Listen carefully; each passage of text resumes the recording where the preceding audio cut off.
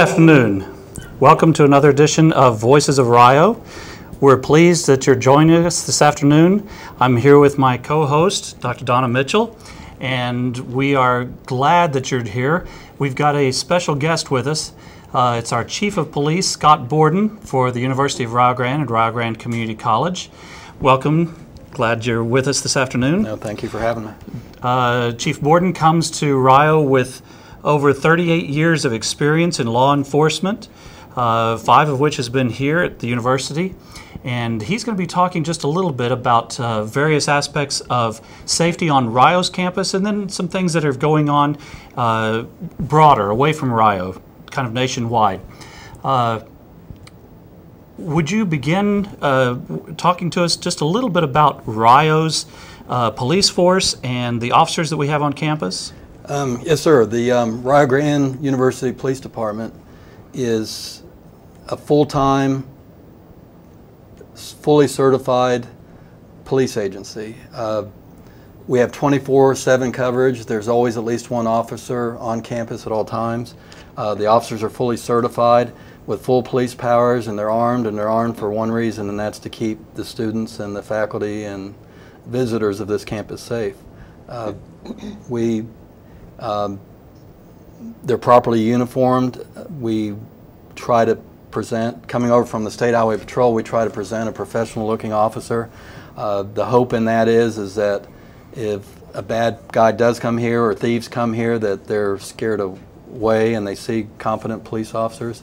Um, if you remember the shooting at the Charleston Church in South Carolina mm -hmm. a mm-hmm. couple months ago, a lot of people don't realize is there are witnesses that said that that guy went to um, Charleston College in Charleston a couple days prior to that shooting with the intent of shooting college kids at the school, but because he saw uniformed, competent police officers, he left mm. looking for. Now, what he did was almost as horrific, or right. if not worse. But that's why we have we have our guys try to look good in uniforms. They wear Stetsons. They won't have donut stuff all over their shirt. They won't have mud on their boots. But but we are fully certified police officers.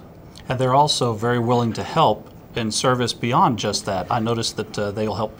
they'll walk people to their cars at night if it's uh, uh, kind of a darker area of the campus.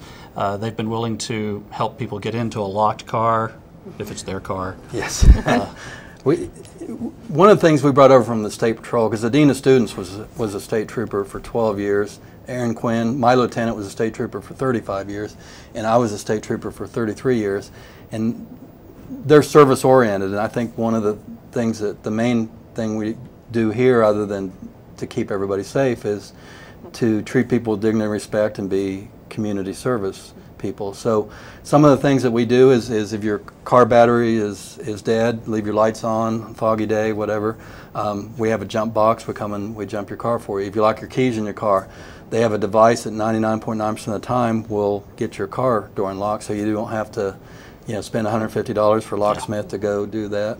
Um, any student faculty member, anybody that has any issues going on, ex-husbands, ex-boyfriends, girlfriends, just somebody stalking you, anything, if you call the campus police, we will, myself, anybody will come over, they'll walk you to your dorm, they'll walk you to your car, they'll walk you to your class, um, put you in the police car, they'll put you in the golf cart, and we we really hope that people take advantage of that because a lot of reasons that kids won't do it is because they're you know, in the world we live in, it's just, you know, nothing bad's going to happen to me. And, you know, they'll think I'm stupid if I call and I bother them, but that is not the case at all. We, our guys will come over there 100% of the time and they will never give you any grief. And if you ever have any issues, you should take care of it. I can tell you that they have done that for me a couple of times when I've either locked my key in my office or just needed to get in someplace that I didn't have a key. They've been very professional about doing that. I've well, also seen them do that for students many times in the parking lot, and I've seen them transport people who have mobility issues mm -hmm. to buildings and from buildings. We do that. A lot of the athletes will have injuries. They injure their knees or their ankles or other students, and we will take them to class in the dorms in the golf cart.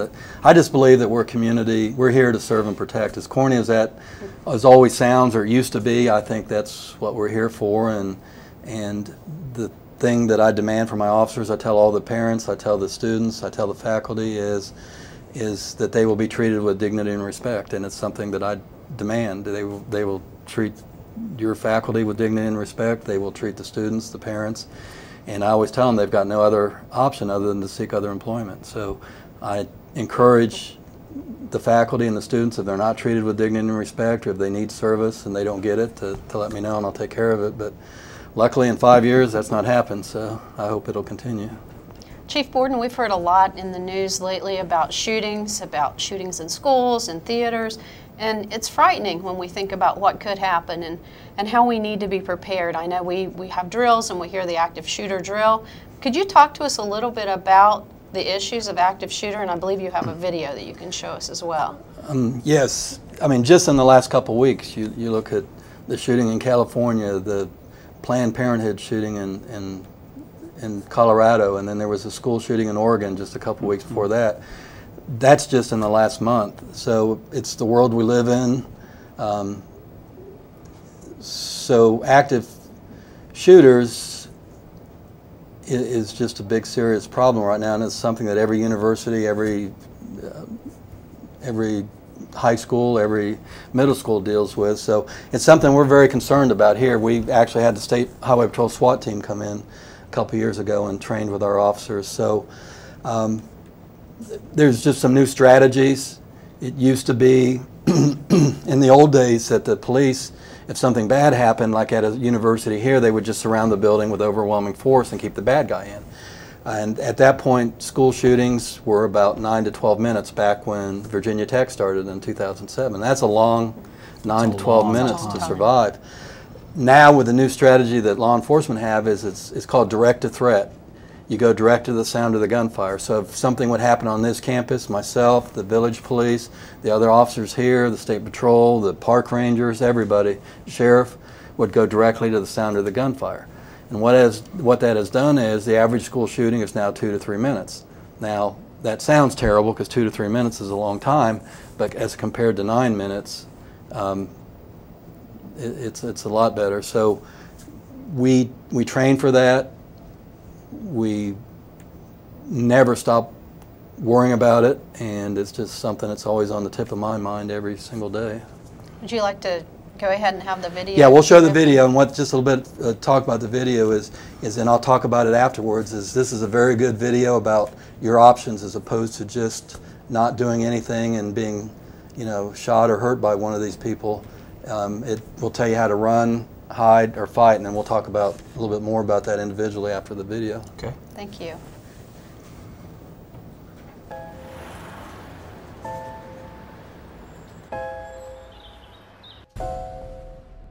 It may feel like just another day at the office.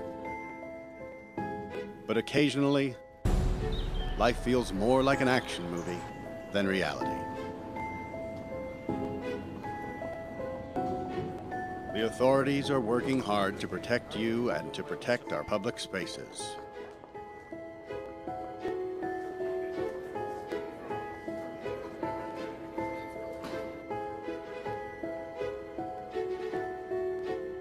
Sometimes bad people do bad things. Their motivations are different. The warning signs may vary, but the devastating effects are the same. And unfortunately, you need to be prepared for the worst.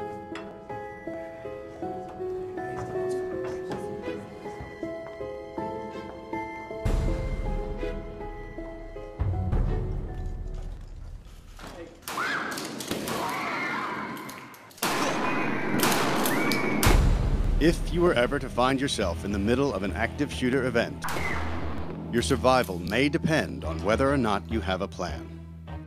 The plan doesn't have to be complicated. There are three things you could do that make a difference. Run, hide, fight. First and foremost, if you can get out, do. Always try and escape or evacuate even when others insist on staying. Encourage others to leave with you, but don't let them slow you down with indecision. Remember what's important you, not your stuff. Leave your belongings behind and try to find a way to get out safely. Trying to get yourself out of harm's way needs to be your number one priority.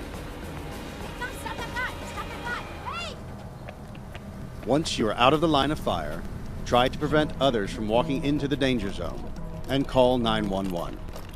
Yes, sir. Wheelchair search to Washington. Wheelchair close by. Help us! Help us!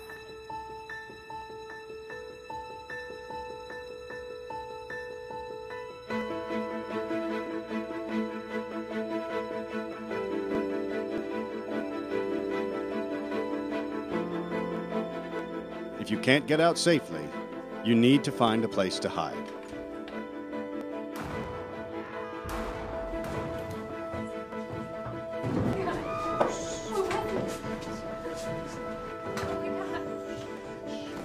Act quickly and quietly. Try to secure your hiding place the best you can. Turn out lights, and if possible, remember to lock doors. Silence your ringer and vibration mode on your cell phone. And if you can't find a safe room or closet, try to conceal yourself behind large objects that may protect you. Do your best to remain quiet and calm.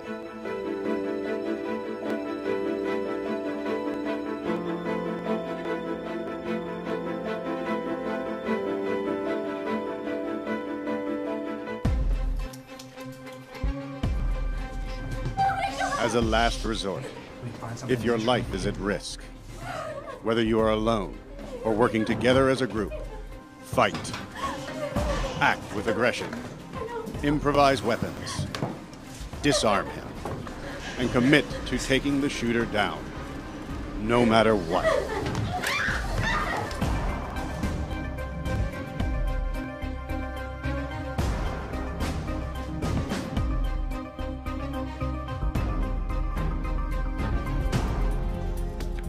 Try to be aware of your environment. Always have an exit plan. Know that in an incident like this, victims are generally chosen randomly. The event is unpredictable and may evolve quickly. The first responders on the scene are not there to evacuate or tend to the injured. They are well trained and are there to stop the shooter.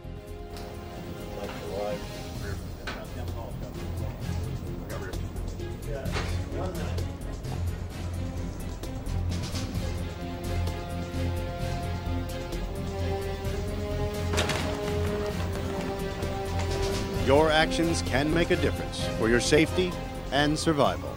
Be aware and be prepared. And if you find yourself facing an active shooter, there are three key things you need to remember to survive run, hide, fight.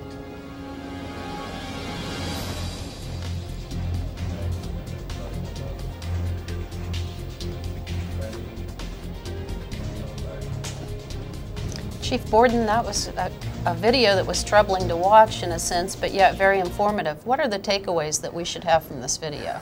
Well, the, the number one takeaway is just like I said, police had to change their strategy as opposed to surrounding the building with overwhelming forces going direct to the threat.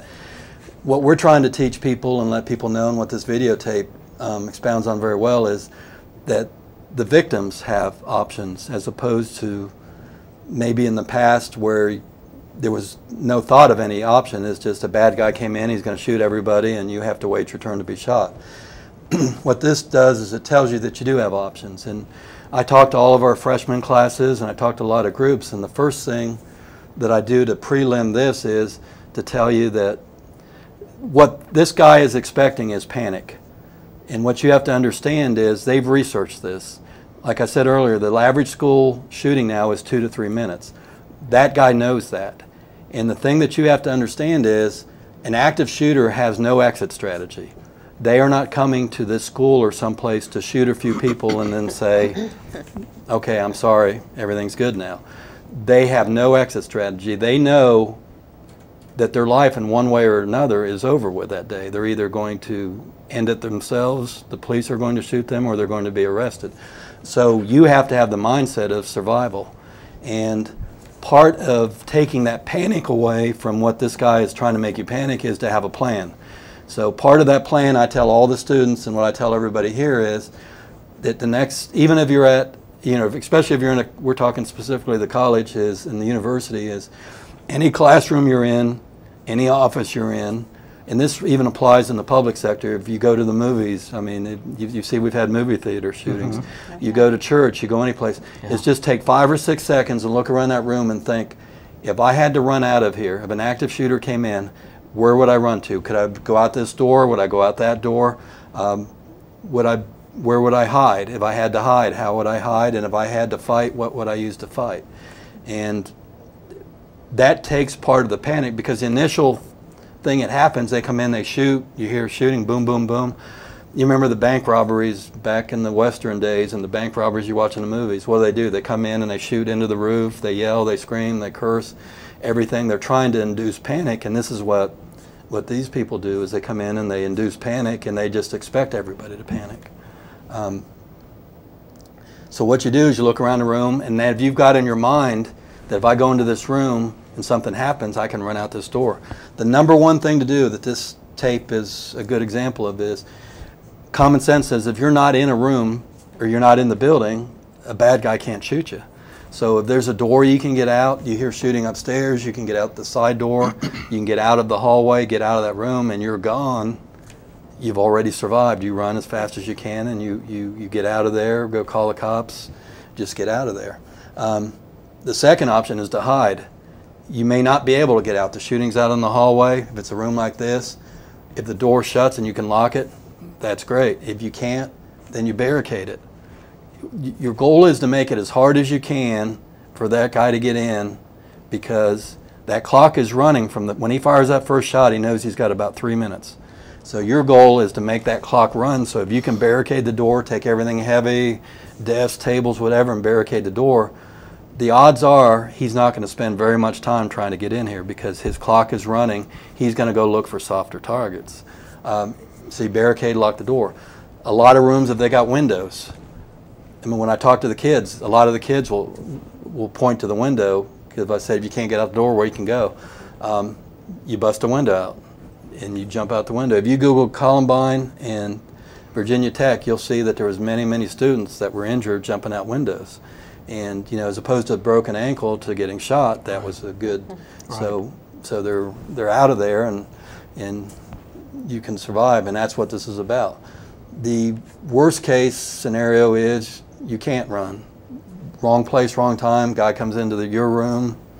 Um, there's no place to go, and at that point, you have to make a personal decision. Am I, you know, am I going to fight? And that's what, you know, people like me that go around talk about this are saying is, if if you can't run, you can't hide, that you should fight, and that means whether you're picking up chairs and throwing them, cameras, your laptops, your cell phones, pencils, um, book bags, water bottles, coffee cups, anything, you throw them directly at the shooter's head.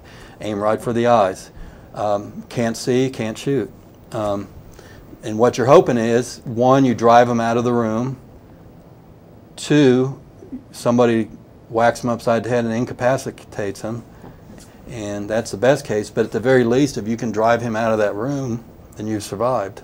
And like I said, these guys research it, and they know with the three minutes that they have to wreak as much havoc as they can. And you know, and a lot of times, a lot of these shootings, when they run out of people that aren't barricaded, that aren't, they continually shoot the same people over and over. I mean, Virginia Tech that guy fired 174 rounds and shot 32 people. Um, Columbine, those kids fired 176 rounds, all point blank. So if you can get yourself hidden or out of the area, then you've got a really good chance to survive because they are not going to spend a lot of time um, breaking into doors. Closets, if you can get into a closet. It doesn't sound like a lot, but like there's a closet over here. If you can get in there, shut the door, a lot of times if they come into the room, they see people um, that aren't in here anymore, or some people have been victims. If they don't physically see you, there's many stories where the guy will leave the room and not. They don't have time to go open closets and stuff like that. So even if you don't do a whole lot, um, you do something. I was off before the show. I was talking to you about the shooting in California. Um, and I think that's a great story to go along with the hiding. Is uh, there was a there was a man that was in the restroom when the shooting started. Another man ran into the restroom. My understanding is it was a restroom door that didn't lock. Both gentlemen laid on their backs, put their four feet against the door, held onto things on the side, and jammed the door shut, and kept one of the shooters from coming into the restroom there. Now it doesn't sound like they did a lot, but as opposed to letting that guy come in there and just start shooting, they did something, and that's all we're talking about is to do something.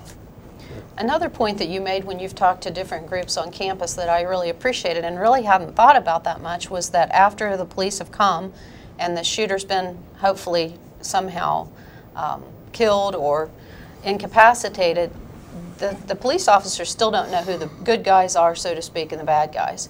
So you have to be very careful because you don't want to be confused for one of the people who has been doing the shooting.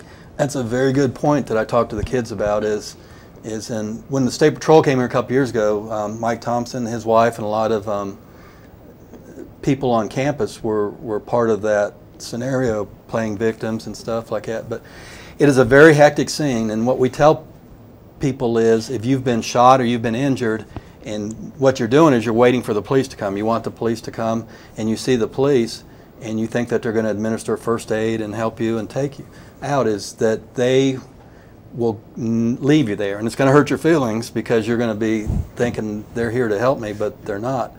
They're, they have to go find the bad guy. So, what we're talking about, what you're asking about, is once the, the bad guy's incapacitated, they've got him. You need to just stay where you're at. If you're hidden in a room someplace, barricaded in, stay there till the police come and get you. Uh, the last thing you want to do is go wandering around. You, st- because what happens is you be say you barricade yourself and your office is up where you're at, and you don't hear shooting for another for a couple of minutes, and you think everything's okay. The problem is the guy could be wounded. He could be reloading. He could be looking for other victims. He's ran out of victims. And what if you if you and your staff go out because you think it's okay, then you've walked right back into them again. Uh, so stay where you're at. That way you're safe. You're barricaded. Um, the police will come and find you. Uh, when the police come, you got to understand they're going to be hopped up too because they've seen injured people. They've seen people that's been shot. They know there's a bad guy with a gun. So you want to be as calm as you can. If they burst into a room, what you can't do is stand up and go yelling, "Hey, help me, help me!" like that, because they're not sure who the good guys are and who the bad guys are. Is there more than one shooter? Used to be there was always one shooter, but um, the shooting in California was two shootings, Yeah. and FBI said that that's the first shooting and the, only the second shooting in the last 166 where there was more than one person. And I don't know what's. I mean, it's pretty sad that they can go back and say 166 that Yeah, there- it is. there's been that many. So, so very good point. Just stay calm. If you're hidden, stay where you're at till the police come and get you. They'll find you. Don't rush at the police. Stay calm, and because you've survived, and you don't want to get hurt after you survive. So. I've seen that video now a few times, and I'm always struck by the fact that they're not helping the victims. They're not even stopping to look at the victims. They're looking directly to where can I find the shooter and deal with that situation. The motto is they tell, when they do the training, they say, get the bad guy, go find him. And if you stop and do first aid, as horrible as it sounds, if someone's shot in the leg or something, if you spend 15 seconds um, taking the time that that, because another story that told the, the shooting at Sandy Hook, 12 seconds after the first police officer pulled into the lot, that guy shot himself, and that ended that event. So, as quickly as the police can get there, they hope that the event is ended. So, any time that you take to to do first aid or triage or anything like that, and I guess the last thing, two things I would say, is I want to reemphasize that you have to have the mindset of survival because active shooters have no exit strategy. They're not coming in to take hostages or not, so you need to do that. Um, if you see something, say something. You've seen Homeland Security says that out. If you see somebody acting strange, call right away. And we always tell everybody you can do everything you can, knowing that you can't do everything. So we, we, we plan and we plan, and you can do everything you can, but you just have to know that you can't do everything. One thing I really appreciate about you and, and your staff is that you're so willing to come and talk to us and help us. I know you came and talked to several groups of faculty members, and I was present. We really hadn't thought about all of the things that are that you've brought up today, and as a result of what you did, we do have plans for the classrooms and for the office areas. And I think that's a real credit to Rio Grande and to your force, and is that you have helped us to develop that plan so that we can keep our students, our faculty, and our staff safe. Well, I appreciate that, and trust me that that I think my number one mission here is to keep you guys safe and to keep the students safe and all of the visitors, and that's our mission. And and anything that we can do to help that mission, that's what I'm here for. Well, we appreciate that a do. lot, and I can I can second what Dr. Mitchell sa- suggested. I've I've seen the video. I've heard you speak a number of times, and I have when I go into a room now, whether it's a meeting or for a class or whatever, I do have in the back of my mind, and often I will think, okay, there's the windows, there's the only exit, or there I've got two exits. There's a desk over here, and I start thinking about just what happens. What what what could be, what could I use? And that's unfortunate, but it's also fortunate. And the fact that you do that is exactly why we do this, is because what they're counting on, you all know, everybody can think of moments when they panicked in their life, you know, and, mm-hmm. and you think, oh my gosh, what am I going to do? If you've already got that mindset, this is what I'm going to do, that two or three seconds is, is might be all of what it takes. And Well, Thank you for being with us this, No. this yes, afternoon. absolutely. No, thank you. absolutely. We appreciate your willingness to come on and share this, share the video with us. We know that you're going to be uh, doing this on campus uh, again for both student populations as well as faculty and staff, and, and we appreciate that. Uh, we also appreciate the viewers who are willing to work with us and, and show up and, and watch the, the podcast. And we invite you back to another podcast, and thank you again for joining us.